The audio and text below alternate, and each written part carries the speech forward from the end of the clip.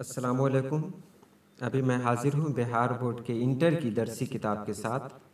سو number کی اردو میں آج ہم کو پڑھنا ہے علی سردار جعفری کی دو نظمیں، گفتگو اور میرا سفر۔ علی سردار جعفری کے بارے میں کچھ جانکاری تو پہلے سے لے لیں کہ علی سردار جعفری کا تعلق ترقی پسند تحریک سے تھا۔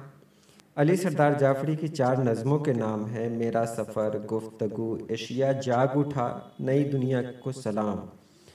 علی سردار جعفری کی پیدائش اتر پردیش کے بلرام پور میں ہوئی۔ ان کی وفات یعنی ان کی موت، ایک اگست دو ہزار کو ہوئی۔ انہیں انیس سو سنتانوے میں گیان پیٹھ ایوارڈ ملا۔ ان کی دو تنقیدی کتابیں ہیں، ترقی پسند، ادب اور اقبال شناسی۔ انہوں نے یہ نظم علامہ اقبال سے متاثر ہو کر لکھی تھی، وہ نظم کون سی نظم ہے؟ وہ میرا سفر۔ اب سب سے پہلے ہم گفتگو کے بارے میں بات کرتے ہیں۔ کہ علی سردار جعفری نے یہ نظم گفتگو لکھی ہے، یہ ہندو پاک کی دوستی کے نام کیا ہے یعنی ہندوستان اور پاکستان کی دوستی کے نام کیا ہے۔ اور اس میں کہا ہے کہ یہ ملاقات شام سے صبح تک چلے گی۔ اور آگے انہوں نے کیا کہا ہے اس کو دیکھ لیں۔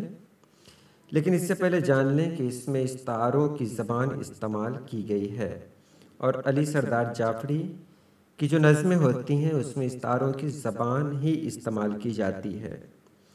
گفتگو جو نظم ہے، اس میں ہندوستان اور پاکستان کے مسائل کو پیش کیا گیا ہے۔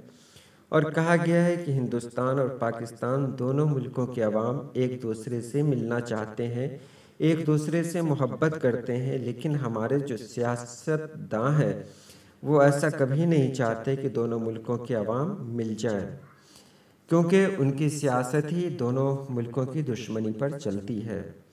علی سردار جعفری اس میں کہتے ہیں کہ ہندوستان اور پاکستان کے بیچ ایک رشتہ رہا ہے۔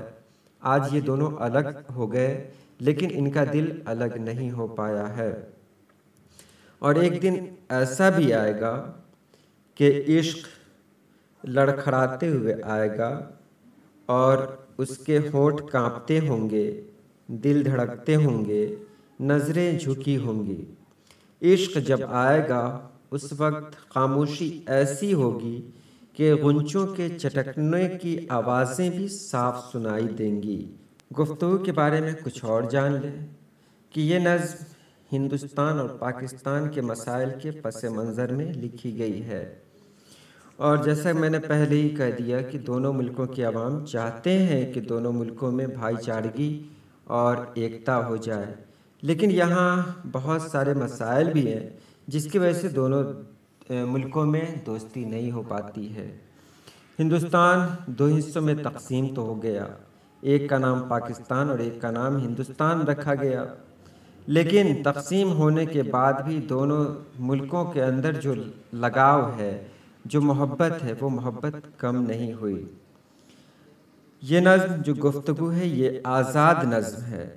اس میں ایک پیغام دیا گیا ہے کہ ہندوستان اور پاکستان کو ایک ہو جانا چاہیے، گفتگو شروع ہونی چاہیے۔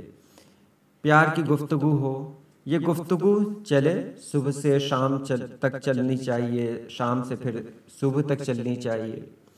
اور اس میں جو مسائل ہیں، مسائل کو حل کرنے کی تدبیر ڈھونڈنی چاہیے۔ آگے وہ کہتے ہیں کہ کل تک ہم ایک دوسرے پر طنز کرتے تھے، زہر گھولا کرتے تھے، ایک دوسرے کو ٹیڑھی نگاہ سے دیکھا کرتے تھے۔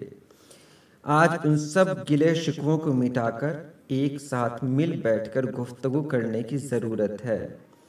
کل تک ہم ایک دوسرے کو پتھر مارا کرتے تھے۔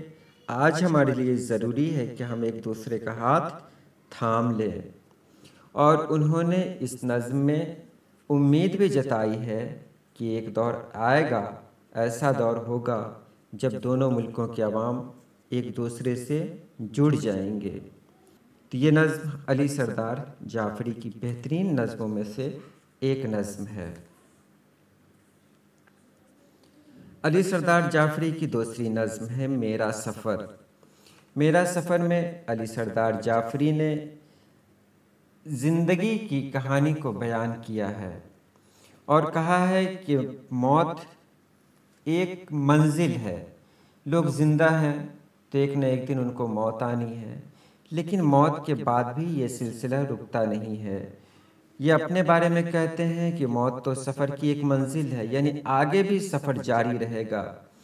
اس نظم میں انہوں نے بہت سارے استعارے استعمال کیے گئے کیے ہیں، جیسے آنکھوں کے دیے بجھ جاتے ہیں۔ موت کا جو منظر انہوں نے پیش کیا ہے، اس میں کہا ہے کہ انسان کی زندگی میں ایک ایک موقع ایسا بھی آتا ہے کہ جب آنکھوں کے دیے بجھ جاتے ہیں یعنی آنکھیں اپنی بینائی کھو دیتی ہیں۔ آنکھوں میں دیکھنے کی طاقت نہیں رہتی۔ آگے کہتے ہیں کہ ہاتھوں کے کمل کمبھلا جاتے ہیں یعنی ہاتھ کام کرنا چھوڑ دیتے ہیں، بے جان ہو کر رہ جاتے ہیں۔ اور ایک اور انہوں نے کہا ہے کہ زبان کے پتے سے آواز کی تتلی اڑ جاتی ہے۔ یعنی کہ انسان بولنے کی طاقت کھو دیتا ہے۔ اسی کو موت کہتے ہیں۔ اس کے بعد انسان کا ایک سفر ختم ہو جاتا ہے، جو دنیا سے لے کر اس کی موت تک ہوتا ہے، زندگی سے لے کر موت تک ہوتا ہے۔ لیکن اس کے بعد بھی ایک اور ایک اور سفر ہوتا ہے۔ میں اس کو بتا دوں پڑھ کے۔ موت ہر جاندار کے لیے لازمی ہے، لیکن اس کے ساتھ پیدائش کا عمل بھی جاری رہتا ہے۔ یعنی انسان مرتے بھی ہیں تو بہت سارے انسان پیدا بھی ہوتے رہتے ہیں۔ ایک دن ایسا بھی آتا ہے کہ موت سے پہلے آنکھ کی روشنی چلی جاتی ہے۔ زبان سے قوت گویائی چھین لی جاتی ہے یعنی زبان بولنے کی طاقت کھو دیتی ہے۔ اور اس کے ہاتھوں کے کمل کملا جاتے ہیں۔ انسان کے دل کی دھڑکنیں بھی ختم ہو جاتی ہیں۔ یہی موت کی علامت ہے۔ اور انہوں نے کہا ہے کہ زبان کے پتے سے نطق و صدا کی تتلی اڑ جاتی ہے۔ یعنی انسان کو بولنے کی طاقت نہیں رہتی۔ لیکن اس کے بعد بھی انسان کا سفر رہتا ہے۔ انسان ایک نئے روپ میں دنیا میں آتا ہے۔ وہ کوئی پتہ بن جاتا ہے، کسی درخت کے سے جڑ جاتا ہے۔ جب ہوائیں چلتی ہیں، وہ پتے ہلتے ہیں۔ تو کہیں نہ کہیں سے احساس ہوتا ہے، کوئی تو ہے جو ہمارے آس پاس موجود ہے۔ وہ پتہ جب ٹوٹ کر نیچے گرتا ہے، تو کوئی مسافر راستے سے گزرتا ہے۔ تو پتے جب اس کے قدموں سے لپٹتے ہیں، تو ایک عجب طرح کی آواز آتی ہے، جیسے کہ پتا مسکرا رہا ہو۔ سفر ختم نہیں ہوتا۔ علی سردار جعفری اس نظم کے ذریعے یہ بتانا چاہ رہے ہیں کہ انسان تو چلا جاتا ہے، لیکن اس کی یادیں کبھی اس سے الگ نہیں ہوتی۔ یادیں ہمیشہ اس دنیا میں موجود رہتی ہیں۔ اگر ہم نے کچھ اچھا کام کیا ہے، تو لوگ ہمیں اچھے ناموں سے یاد کرتے ہیں۔ اور اگر ہم نے غلط کام کیا ہے، تو لوگ غلط ناموں سے یاد کریں گے۔ بہرحال، یاد تو کریں گے ہی۔ تو علی سردار جعفری کی یہ دونوں نظمیں بہت ہی اہم ہیں بہت ہی خاص ہیں۔ اگر آپ کو سمجھ میں آ گیا تو اچھی بات ہے۔ نہیں سمجھ میں آیا تو آپ کمنٹ باکس میں لکھیں انشاءاللہ ایک اور ویڈیو اس پر بنائی جائے گی تاکہ آپ اچھے طریقے سے سمجھ لیں۔ چلیے اللہ پاک آپ سبھی لوگوں کو خوش رکھے آباد رکھے اللہ حافظ۔